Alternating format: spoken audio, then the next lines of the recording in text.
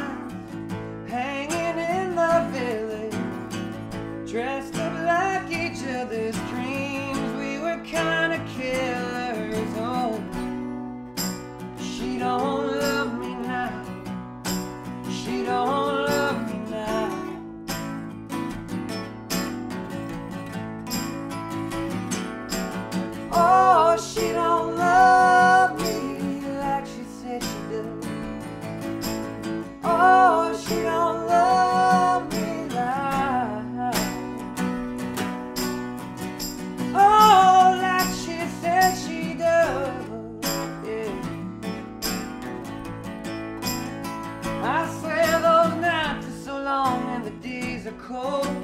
Sick of the bars, I'm sick of the show.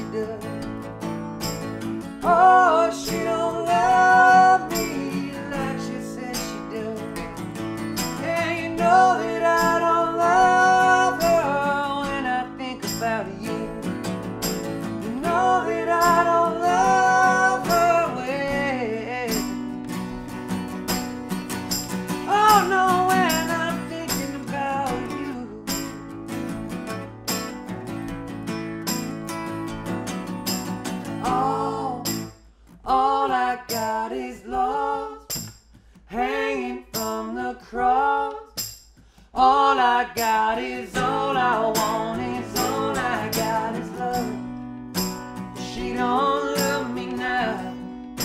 She don't love me now. Oh no no no. She don't.